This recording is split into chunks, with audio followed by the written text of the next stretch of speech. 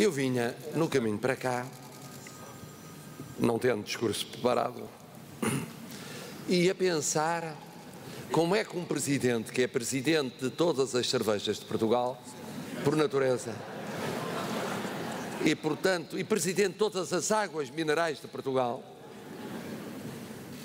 como é que podia de facto, nesse contexto, manifestar um carinho particular, um júbilo específico e mais intenso relativamente a uma dessas inúmeras e todas elas excelentes, excelentes representantes do talento, do gênio, da inventiva nacional.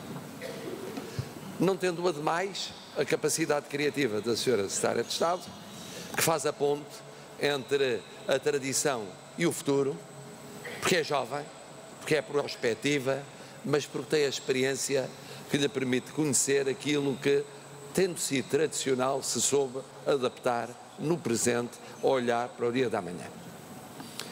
Bom, à entrada da sala, ouvimos falar da pronúncia do Norte. Melhor, cantar. Cantar.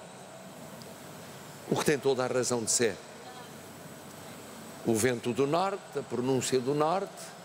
Sinto-me bem, porque do lado paterno as minhas raízes são do Norte, mais ao Norte do que este Norte, mas Norte. E, portanto, isso me leva a perceber porque é que nestas cerimónias, em empresas no Norte, está sempre o Norte em peso. Por vezes não se encontra isso noutros sítios do território português. Eu venho aqui uma, duas, três, quatro vezes, para além das parcerias, para além das relações empresariais, há uma solidariedade telúrica que faz com que, onde haja uma festa no Norte, esteja todo o Norte ou todos os Nortes presentes. É o caso. Depois, sentei-me e vi o filme. E o filme, de alguma maneira, deixou-me perplexo. É magnífico o filme, mas cheguei à conclusão de que naquela construção ao longo do tempo não era a força humana que aguentava a cerveja, era a cerveja que aguentava a força humana. Porque não foram aqueles barris, não era possível que os seres humanos tivessem sobrevivido. Depois, recordei a data de nascimento da empresa 1890, mas que ano? 1890 foi o ano do ultimato. Foi um ano muito difícil para Portugal. Uma grande crise financeira. Foi quase o começo do fim da monarquia portuguesa. Começa aí, no ultimato britânico. A propósito do Império Colonial Português. É, é também o tempo do começo dos confrontos políticos de regime muito abertos em Portugal, um tempo difícil para criar empresas. E, no entanto, foi nesse ano que nasceu esta empresa. Depois, olhei para o número de anos da marca, 90 anos. 90 anos, eu que me considerava já vetusto, já idoso, com direito a cartão de idoso, nomeadamente para os transportes públicos, de, de repente senti uma juventude a renascer no meu espírito. Apesar de tudo, eu era bastante mais novo do que a Superboc. E considerava e considera Superboc em magnífica forma. Não era preciso, aliás, que alguém que deve ser meu contemporâneo, por aí andar, o considerasse. Mas que ano para nascer a Superboc? 1927. Um ano difícil. Um ano difícil porque, se recordarmos bem, os que temos a obrigação de saber alguma história, coincidiu a transição da Primeira República para o início da ditadura militar. Ainda muito indefinida. depois do golpe militar de 1926. 1927, um tempo de grandes tensões, de muita dívida por pagar, externa por pagar, e ao mesmo tempo de grandes tensões políticas e militares em Portugal. Em teoria, mau ano para lançar uma marca como a Superboc. E, no entanto, foi lançada e teve sucesso. Ou seja, de facto, há, na história desta empresa e na história desta marca, que é tão forte que acaba por passar a ser a marca da empresa, confundindo história da empresa e história da marca, há de comum o seguinte: nascerem ambas contra o vento. Não nascerem a favor do vento, mesmo sendo conhecida a potência e a criatividade do vento do norte. Nasceram contra o vento e tiveram êxito. Tiveram êxito pela coragem de terem nascido contra o vento. Tiveram êxito pela coragem de terem nascido onde nasceram, com raízes profundas neste sol. Tiveram êxito por terem tido a visão de, necessária para buscarem as parcerias. E aqui entra a presença do dinâmico senhor embaixador do Reino da Dinamarca. Uma parceria europeia bem-vinda num tempo de integração europeia em que nos sentimos bem. E ao mesmo tempo tiveram êxito, porque souberam encontrar mercados e mercados novos. E portanto não apenas inovaram, não apenas souberam ir mais longe no marketing, souberam reju rejuvenescer os quadros, os trabalhadores. Alguém me disse que a média de trabalhadores desta casa está abaixo dos 40 anos, todos entre meus netos e meus filhos potenciais. Portanto, o que significa uma casa de futuro. E depois, olhar para mercados grandes. E daí a presença do Sr. Embaixador da República Popular da China. Um mercado enorme, Sr. Embaixador. Se o Sr. Embaixador não gostava de cerveja, tem de passar a gostar de cerveja portuguesa. E aqui dirão, é esta cerveja portuguesa, Sr. Embaixador. Passo a controlar isso atentamente.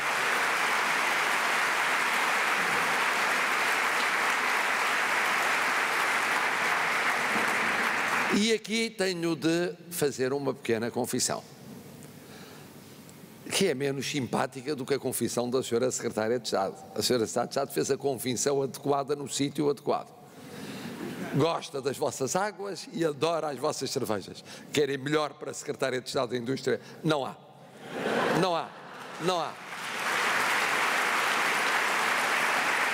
Também é verdade que ela tem a pronúncia do Norte e, portanto, era natural que se sentisse bem com algumas águas e algumas cervejas.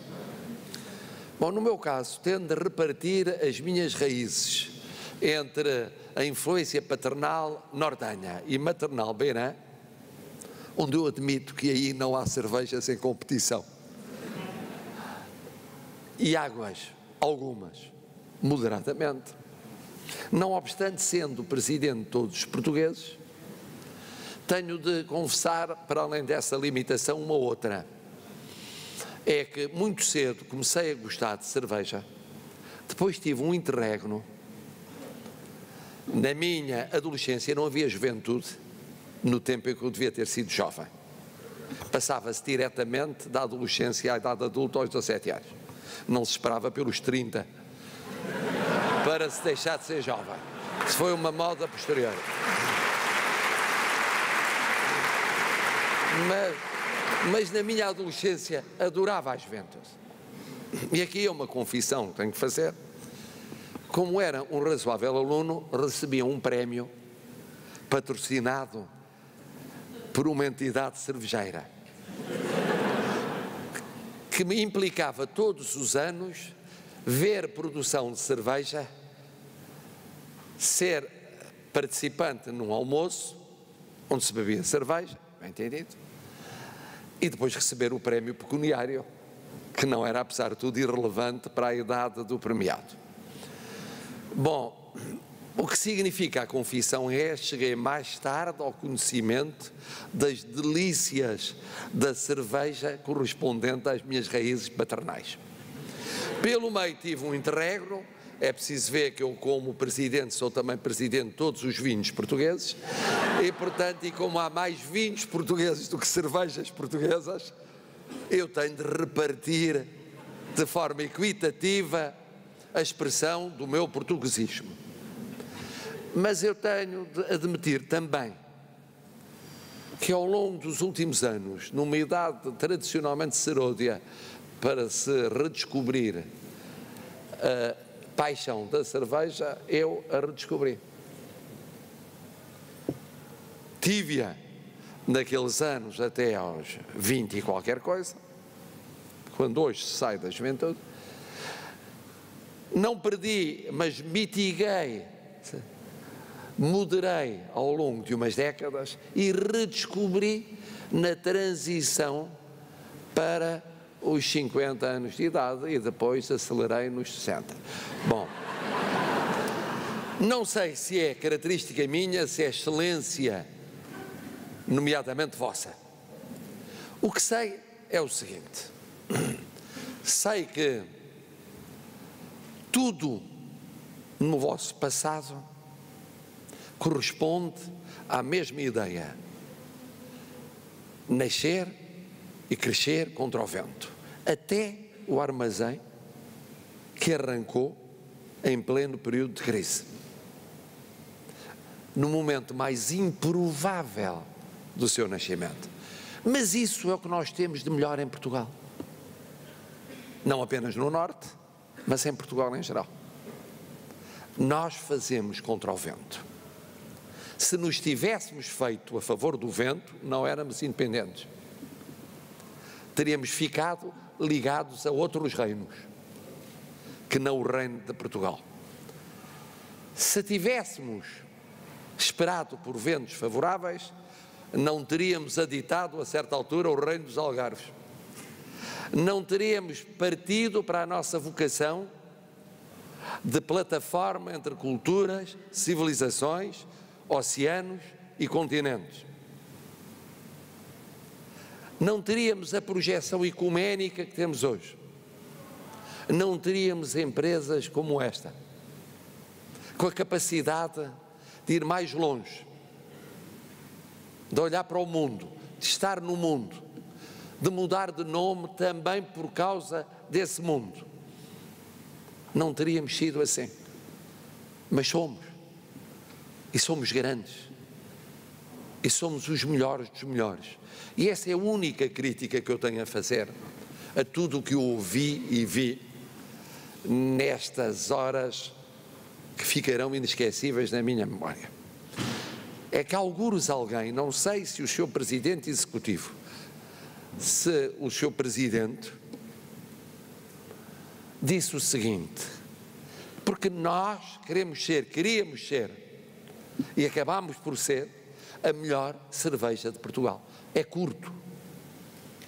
Têm de querer ser a melhor cerveja do mundo. Ser só a melhor cerveja de Portugal é curto. É curto para esta cerveja como para qualquer cerveja portuguesa. Temos de ser os melhores do mundo. Não nos basta sermos os melhores da Europa em alguns domínios do desporto, ou da música, ou em domínios importantes da inovação, ou das artes plásticas, ou da cultura, ou do empresariado. Temos de ser os melhores do mundo. E por isso, esse é o repto para os 180 anos da Superboc. Eu não estarei cá. Não estarei cá, não porque haja problema de limitação de mandatos apenas, mas, mas porque há limitação orgânica de vida. Mas onde quer que esteja, e como é evidente, um mandato presidencial encurta substancialmente o purgatório no sentido do céu, Espero que nessa altura, já no céu, de lá possa olhar e dizer: uma cerveja portuguesa é a melhor do mundo. Cabe-vos a vós demonstrar que é a Superboc. Eu fico à espera desse triunfo.